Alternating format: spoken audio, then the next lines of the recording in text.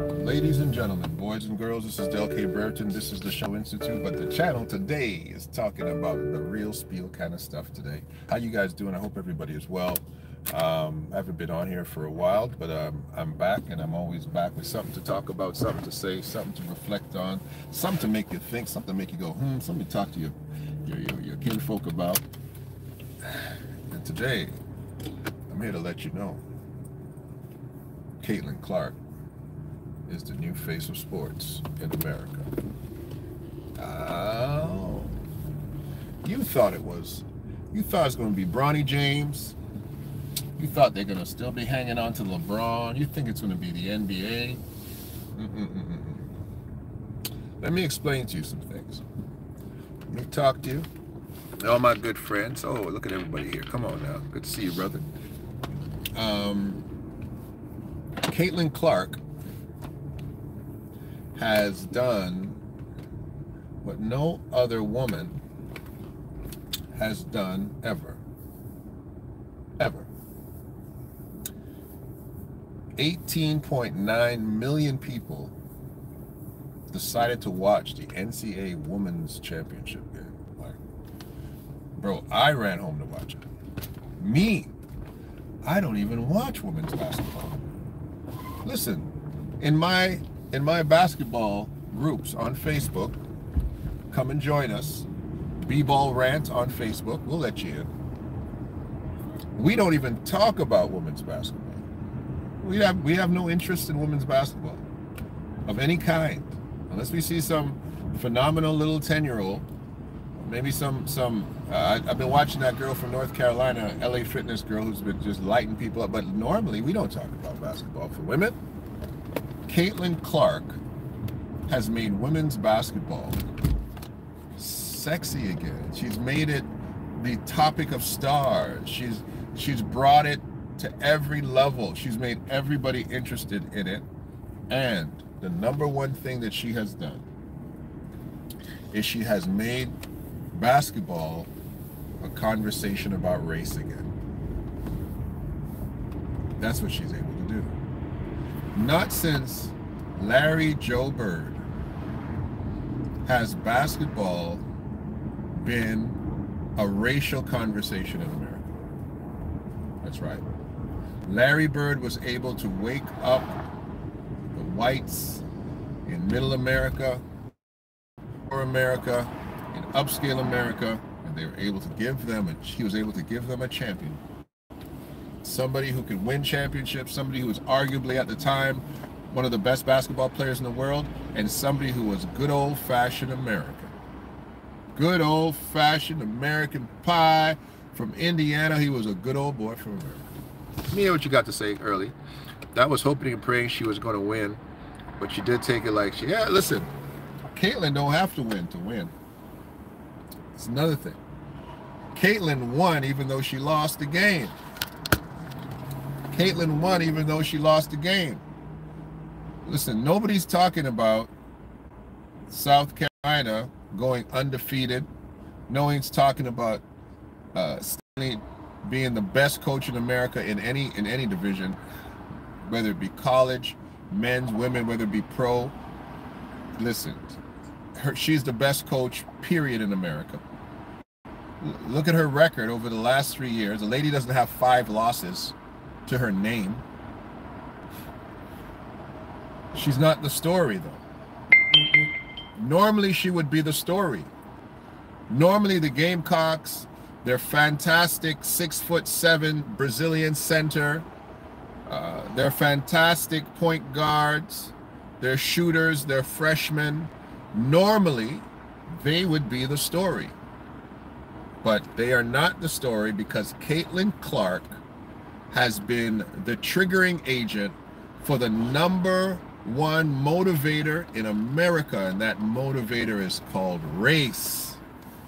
She has been, she is good enough that white Americans, and I'm sorry, I'm sorry, this is not my issue, America, this is yours. This is not this is not me who made 18.9 million people watch Caitlin Clark. This is your issue. This is your rallying cry. So I, I have to I have to mention it. I'm not talking about race.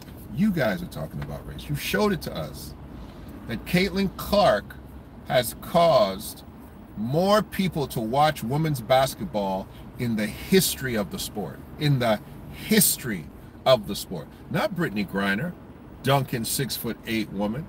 Not Lisa Leslie. Not Sheryl Swoopes. Not Teresa Weatherspoon. No, no, no, no. Not even Angel Reese. Uh-uh. Not Juju Watkins. A bad point guard from USC. No. They are watching a little white girl from Iowa. No tan in the world.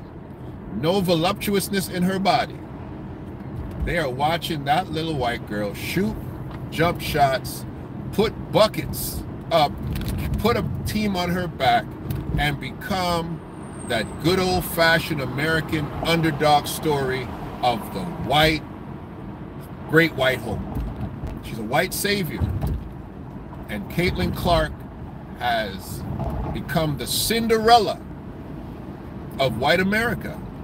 And I'm telling you right now, baby, I'm telling you right now, she's the Taylor Swift of women's basketball.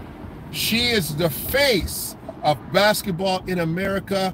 Mark my word. Caitlin Clark has little freckle-faced Kansas seven-year-old white girl saying, Daddy, I want to play basketball. In Missouri right now in the mountaintops, those hillbillies are coming down, letting their daughters play basketball. Caitlin Clark's jersey is going to be worn by white girls, white boys, white grandmothers, white aunties and uncles. Good old boys are going to be wearing good old Caitlin Clark's jersey because Caitlin Clark is the, the, uh, the American dream. She's non, she's not, she's not, she's not be no, there's no confrontation. There's not going to be any scandal with Caitlin. Caitlin's not going to be cussing and putting tattoos on herself. She's not going to be twerking on social media. She's not going to be walking around with a thong, showing everybody her. No, no. Caitlin Clark is cookie cutter clean. Every single brand in America's want to go marry themselves up with Caitlin Clark. Caitlin Clark is the darling of marketing in America. My goodness, you can't lose with Caitlin Clark. You can't lose with Caitlin Clark. She's not going to give you some political statement to, to, to disenfranchise any portion of the American audience. Everybody's going to love her. Everybody. Black, white, everybody's going to love Caitlin. And that's why Caitlin Clark is going to be the new face of sports in America. She's the safest bet in the doggone world. If you're going to put money behind somebody as a multi national corporation, sports apparel corporation, and you've got to worry about somebody doing something dumb, somebody doing something silly, and you can say, well, let's let's just let's just let's just bet it all on Caitlin. You're guaranteed to have a good five-year run out of that jump shooting little white girl who is not going to do anything but smile and be happy and give you wonderful sound bites and she is going to make anything she touches into gold I guarantee it you might say, well, Dell, she's not going to go change the WNBA. She's going to change the marketing for the WNBA. She's going to change the TV deals for the WNBA. Ice Cube is not a fool. Ice Cube wanted to give her five million just to play one season with the big three. But Caitlin, to, to her credit, you don't take the first deal on the table because if he's offering you 5 million out the door 20 million is sitting there somewhere. 20 million is sitting there somewhere. He's offering her 5 million dollars to play one season. 5 million! That's her that's your first offer? Whoa whoa whoa whoa whoa whoa whoa whoa 5 million your first offer I'm, I'm gonna come back with 25 ice cube and we'll settle somewhere around 20 because you can actually play she can actually do both she can play in the WNBA and in the Big Three because the seasons don't conflict. My goodness. Caitlin Clark is is revisiting the racial divide that is taking place in America in a positive way. But she is she is revisiting it. She is causing people to come to see. This is what Caitlin did. These stars, these entertainers, all of these people came to watch Caitlin and that good old fashioned Iowa team, that good old white team from Iowa. They, I know they had Stokely, they had that black girl, had that black pom pom girl who's instrumental. She was the only person who actually showed up in the finals. Her and her and uh, Caitlin. She was instrumental, absolutely instrumental. Fantastic young lady. But Caitlin made all of those white folks come to watch black people lose. Let me tell you something. These things sound so terrible coming out of our mouths. We, we, oh, I, I have a, I have a, a, a, white associate who says, you know, I hate to hear the victimization that comes out of the mouth of black people. You guys are always victims. I'm not being a victim. I'm identifying the cultural normalities of that penal colony called the United States of America. I'm identifying how you guys function. The UFC, the UFC, what made the UFC popular in America? Are you telling me that those those fighters in the UFC were the best fighters in the world? Absolutely not.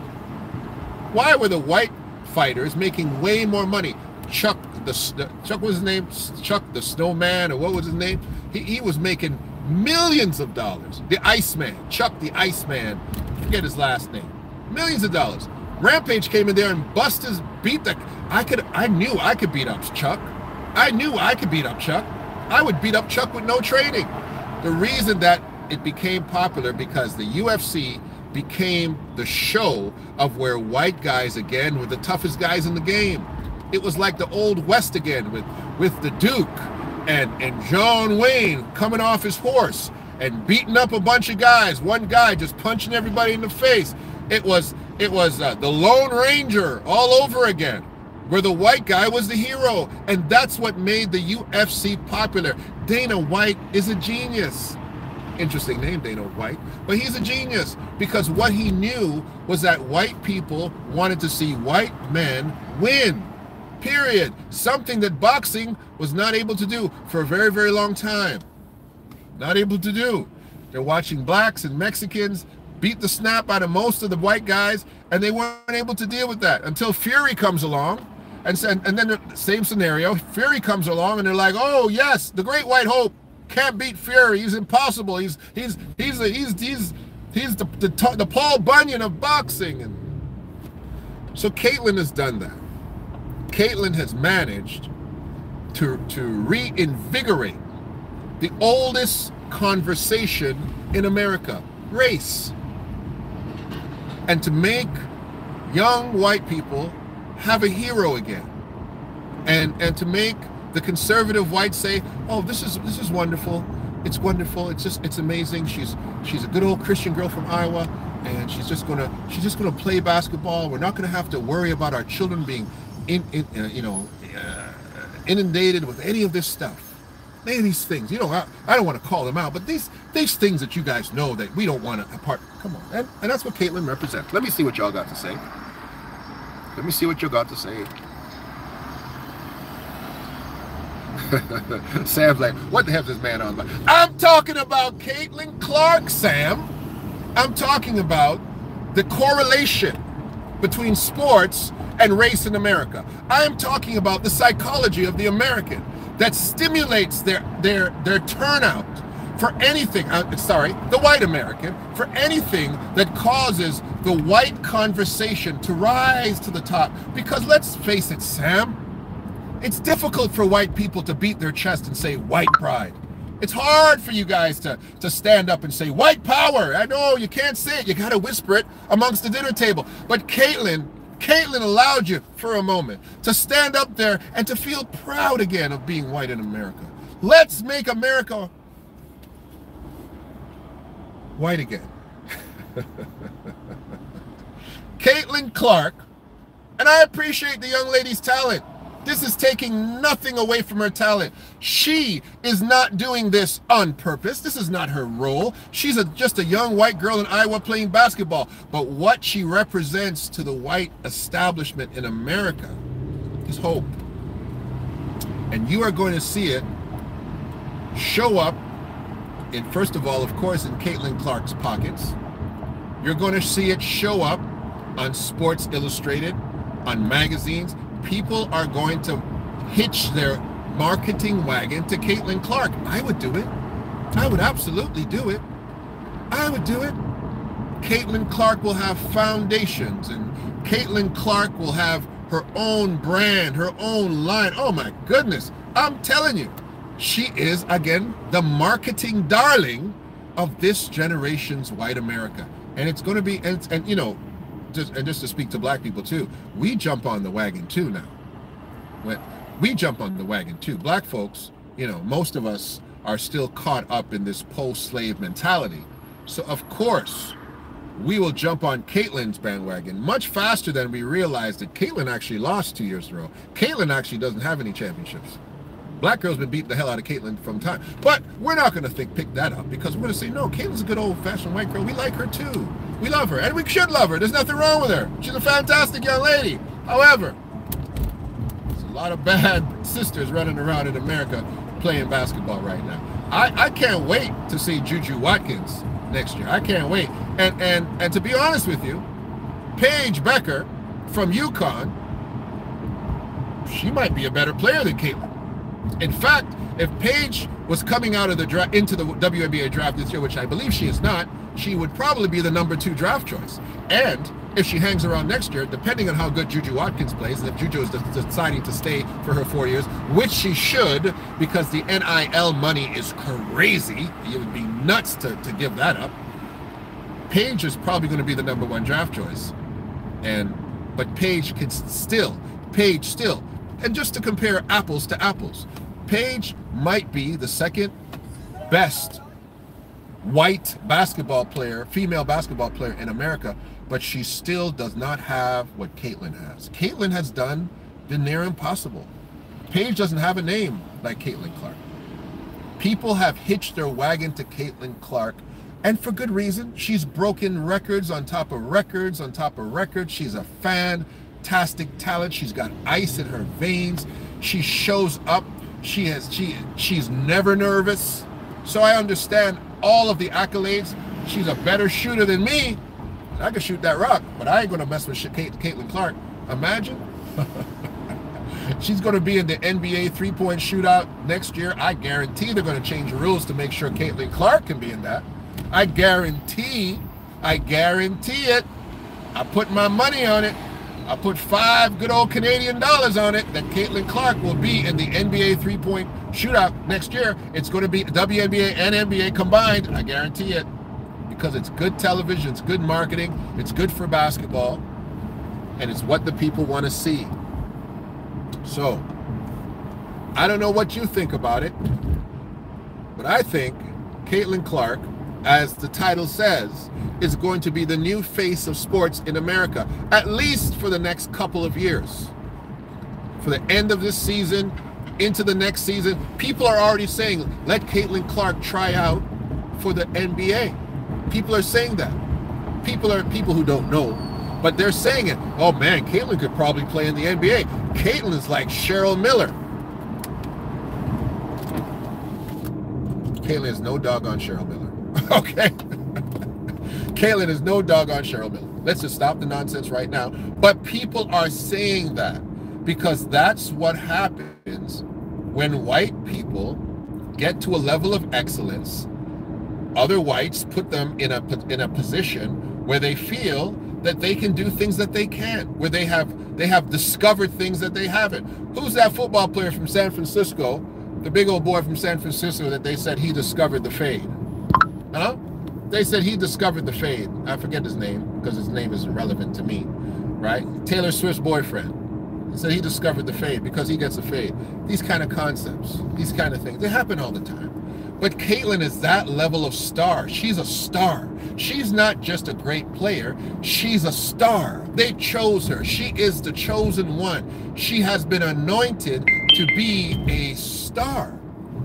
And because she's a star, she is going to be ridden like a star by every individual who has the good sense, just like my boy Ice Cube, to say, hey, I'm hitching my wagon to Caitlin Clark. Why wouldn't I?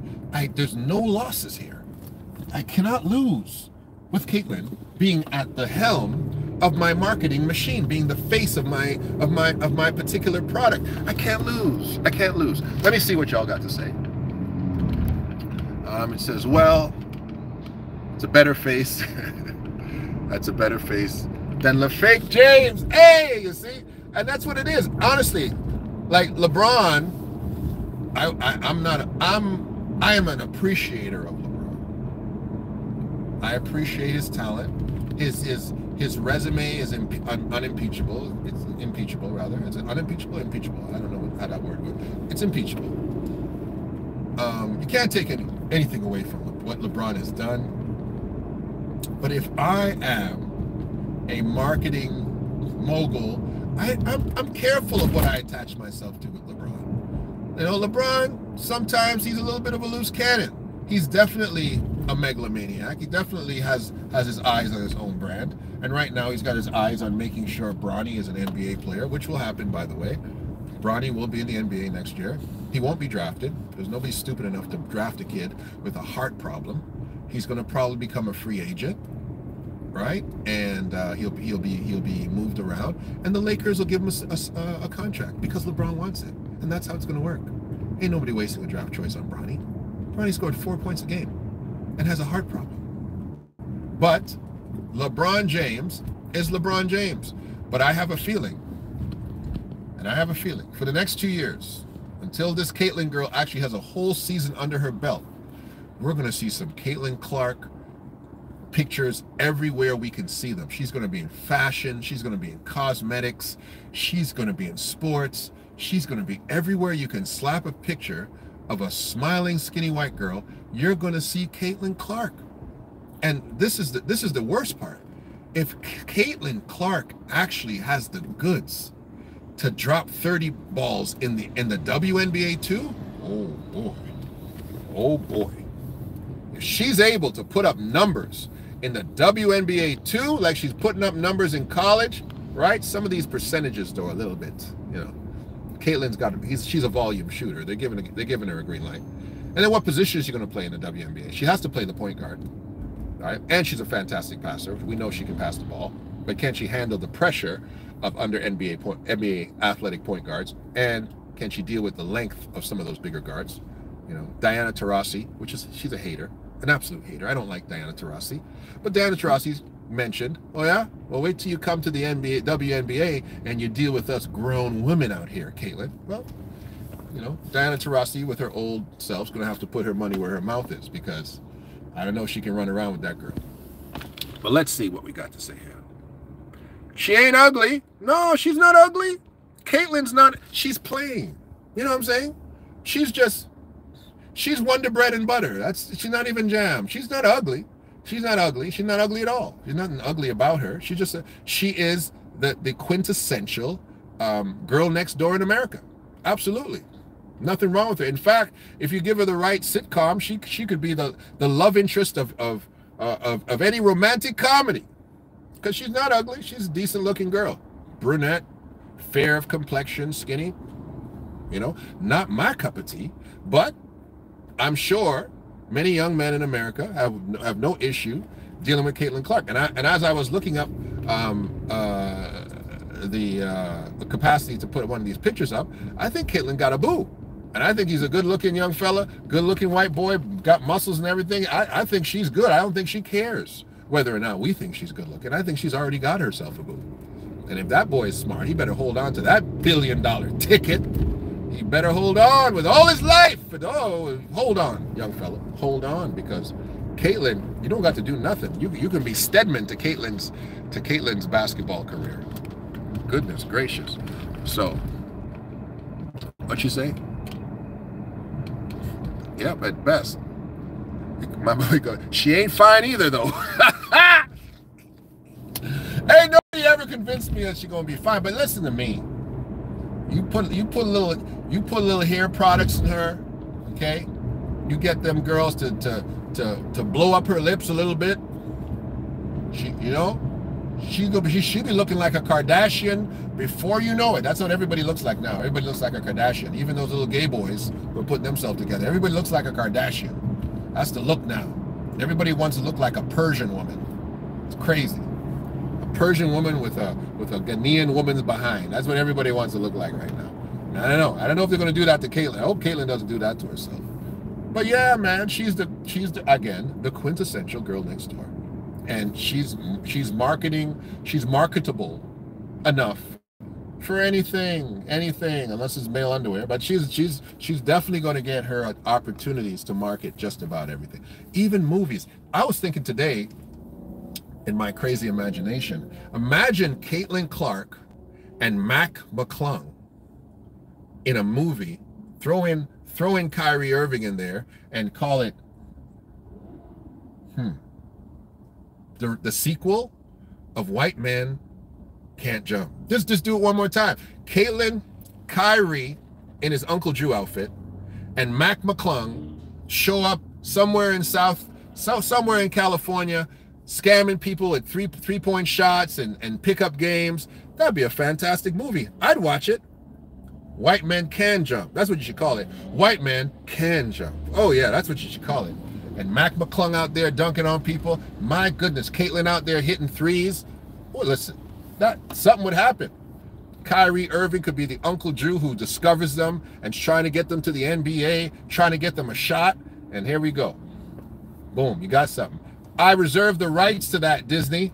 That you got to come see me, Disney. Don't just steal my idea. This is my show. I've got I've got the rights to that. White men can't jump. Somebody write it down. Somebody write it down. Brereton said it first. White men can jump. Coming to a Disney channel near you soon. But listen, I'm very excited about what sports looks like. I have never spoken about basketball on a female perspective so much. There's so many good girls in basketball right now. So many good girls in basketball. And basketball for women is about to take off finally. The WNBA, finally, that, that charity league that the NBA has been carrying on their back might make some money. Apparently, Caitlin's earnings in the in the WNBA next year could be something like seventy-six thousand dollars. Her NIL deal, and for those who don't know what NIL is, it is essentially the capacity for college players, amateur players, to make money off of their image and their likeness. And um, this is taking place now in college basketball, where these young people are not just being given a so-called free education, but they're also allowed to be share to share revenue with the universities who sell their jerseys, who sell, um, who make money off of their image. And so Caitlin, um, on I believe she's doing somewhere around five to 10 mil already. Somebody can correct that. I heard Angel Reese is doing at least 2 million with her NIL deals. So people are making money, unless you're, of course, a foreign student where they jacking you up. My boy Edey made no money. The Canadian made no money. And this is what I said to Canadians. Stop telling these NCAA schools to give you a, a, a, a student visa tell them to give you a work permit. Get a work permit. Tell them to get you a work permit and go to school for free. Get a work permit so that you can take advantage of the NIL deals because that's the issue. You don't have a tax number, and so you, they can't pay you. Imagine this kid who's going to be a lottery pick, millions of dollars he would have made in college already, and he couldn't get paid. He couldn't he couldn't monopolize on that because he's a foreign student. Nah, nah, nah, nah. That's a ripoff. They stole money from that kid.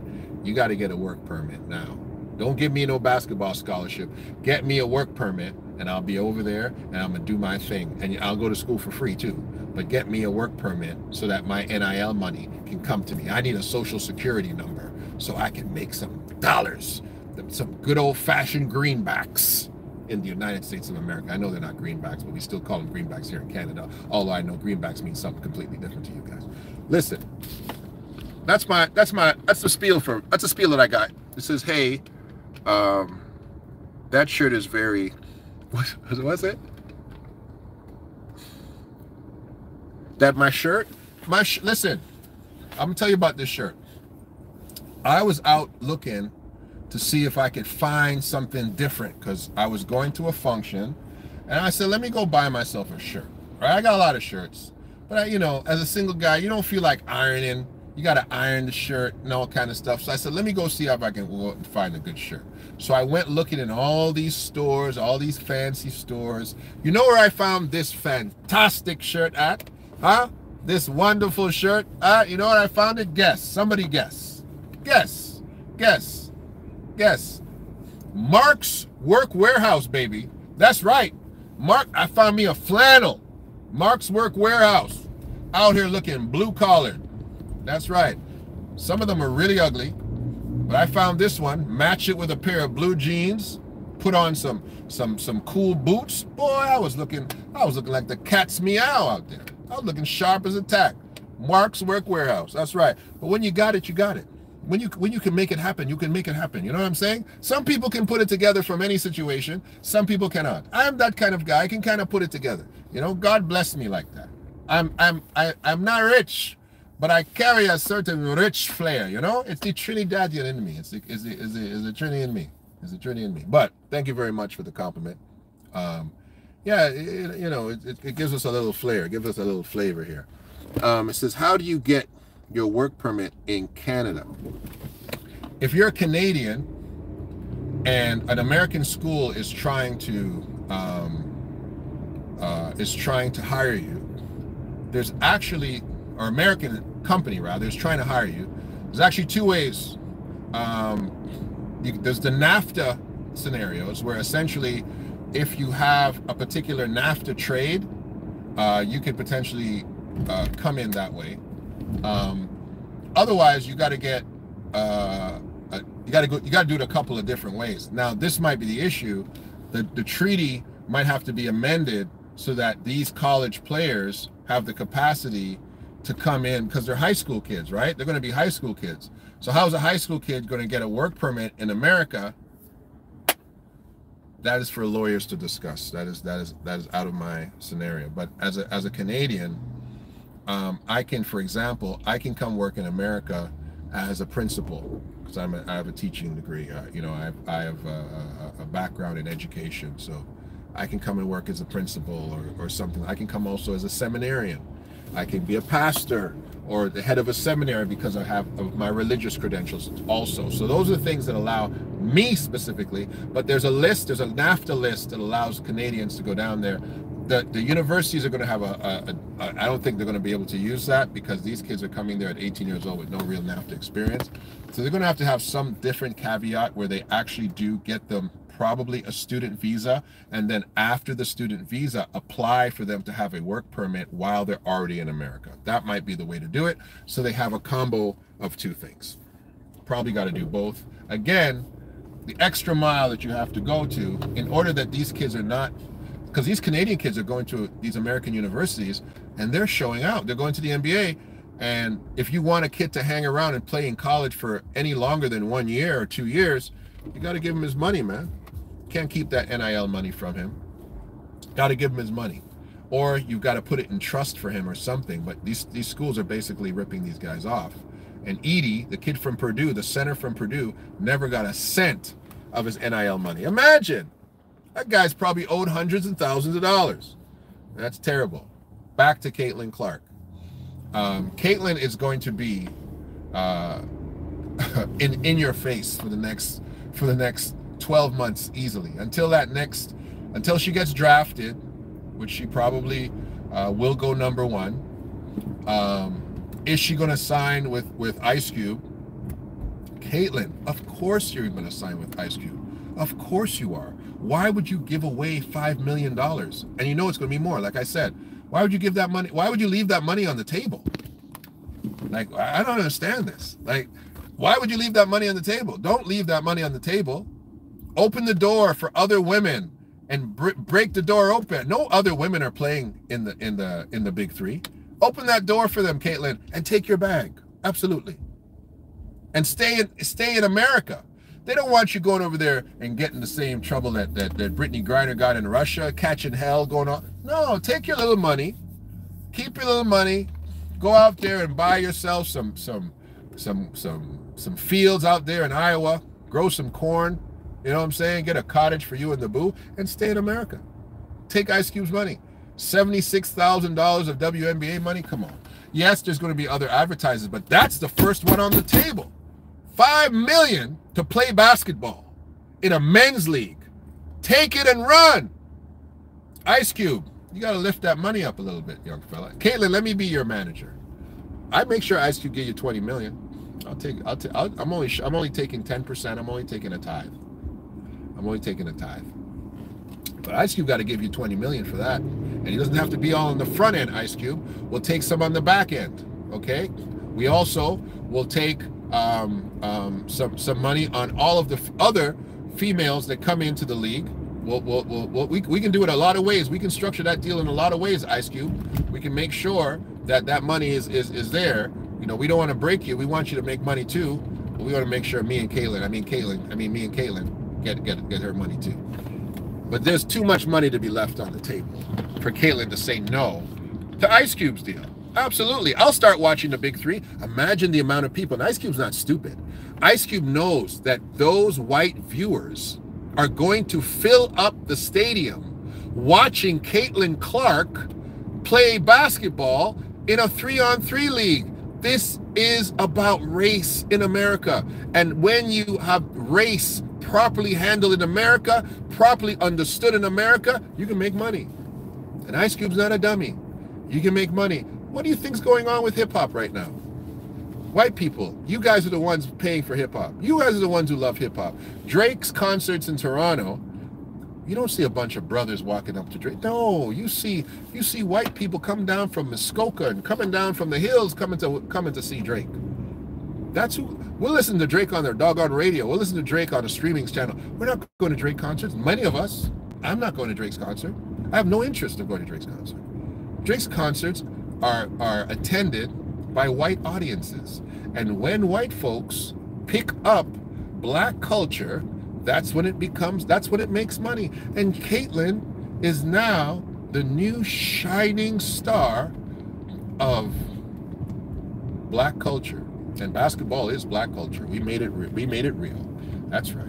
We went, you took it from, you, you gave us peach baskets and we gave you slam dunks. And now Caitlin has risen to the top. Fantastic for her. Kudos to her and her family. Wonderful. But let's let's let's let's be honest. Let's be honest. Caitlin Clark is going to be the face of sports because she is a star white basketball player. She might not even be the best white basketball player, but she is female. But she's a star. She's an absolute star. Nothing can nothing can can cause her not to be a star. Losing didn't stop her from being a star. She's a star. He's a fantastic talent. And and that's going to make money. That's going to make sense. And that's going to make people come to the table to see Caitlin Clark play. What else you got to say? That's the Elvis Presley argument. Exactly. The, the Robeson argument. Ice Cube with Trump in 2024. Let me, let, can, can, can we talk about this Trump thing at the same time while I mix the Caitlin Clark thing? You think I can do it? I can do it. I can, I can absolutely do it. In the midst of Donald Trump's rise in in the in the in the awareness of this new election, and at the same time, Caitlin Clark rising up from from from the countryside of white America. This is this is a similar story. As I as I tried to do before, to combine the whole thing with with Diddy's nonsense that he's going on because there's a difference between racism and classism, right? Racism and classism. And and Donald what what Donald and Diddy are dealing with is they're dealing with their classism being attacked by the legal systems of America. But let's leave Diddy aside for the moment. But Donald and Caitlin rising at this time are extremely significant because there is a new awakening and a new awareness that we have seen from Donald's first um, term as president that is still very much alive in America to the point that Donald is not even dealing with race at the same way he was dealing with it at the, at the beginning because so many black and Latinos have somehow um, ingratiated themselves with Donald's next rise in power because they see this absenteeism of representation from the Biden administration anyway. And they see Donald as an outsider. So now Donald has has the capacity to rise to the top. At the same time, Caitlin Clark is rising to the top. And now from the American middle class, uneducated point of view, they are seeing an America that they've been waiting to see again. An America run by a strong white male. An America run by a voice that speaks to the, their anti immigration mentalities and, the, and their their their mentalities of, of personal prejudice and their their quiet their quiet squeaking of individual white pride, which they believe built America. And then they see Caitlin. And they see Caitlin as another representation of white greatness and white excellence. And I'm telling you, these things are culturally walking, holding hands in different silos, but they are holding hands nonetheless. And, and so this is not coincidental that Caitlin is now answering the call that many white people have in America of seeing greatness in white people. It's, it's not. It's not. There's there's nothing um, strange about it. Absolutely not strange about it. And of course, again, there are many black people on the cusp of of of being Uncle Toms who do not identify uh, the racial significance but see it as progress for themselves somehow somehow. They see these things as, as as, potential progress for themselves because maybe they've classified themselves in a place of classism where we have the ice cubes and individuals like that who might say they are pro donald and where people are saying well ice cube's pro trump because ice cube is dealing on a different level he's dealing on a classism level and yes sometimes they find themselves sitting down having conversations with us common folks about issues of race but really, their issues are not just subjugated to those of just racial things. They are speaking from a classism level, and they are being dealt with on a level that is much higher than the average black American that that that that we see. So, lot. all right, that's it for me. Um, the spiel, man, the spiel. I, have got a I've got a young lady. Uh, her name is Jody Bent. I did an Instagram with her last night. She's a, she's a relationship. She has a relationship show. We're about to come on and do once a week um, a relationship show talking about divorce, talking about marriage in in cultural sectors. You know things like, for example, uh, why the Christian Protestant and the Black Christian and Black people all of those particular categories, three different categories, but all of those categories lead the charge in divorce it's terrible. It's terrible that our that our black um, our black marriage marriages fail, whether they're religious, whether they're secular, they fail. It's terrible that they do, and uh, we're just going to be having those kind of conversations. They're funny, they're engaging. Look out for those.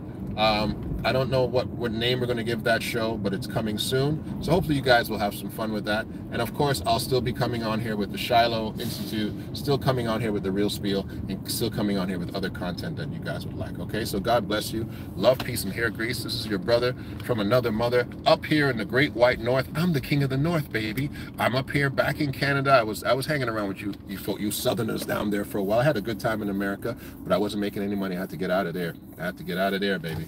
I have to get out of there. Y'all was strangling me out there. I, I, I have to come back here and, and, and work out my salvation with fear and trembling. All right. But love you guys, Miss Ann and everybody on the spiel. Really, really nice to hear from all of you and see all of you. Um, who's who's who's telling me? Who's saying something? Let me let me see. I, come on, cause I'm I'm getting of an age where, you know, you I can't see and I, and I want to see this guy is definitely a negotiator. Thank you very much, there, brother. I, I, I have, I have. Uh, I, I, am sorry, I didn't know if you're a brother or a sister there, but I, I have the capacity to negotiate. You know, I've got the gift of gab and whatnot. But really, I just love you guys on the spiel. I love to be able to communicate authentic content and speak about it in a way that's passionate to me. I wish I really could come on as often as I really want to. I really want to hit this thing every single day, but I want to have good things to say right? I just don't want to be a, a, show where I'm just talking foolishness all the time, although I could do that too. God bless you. We'll talk very soon. It's Del K. Brereton. This is the real spiel.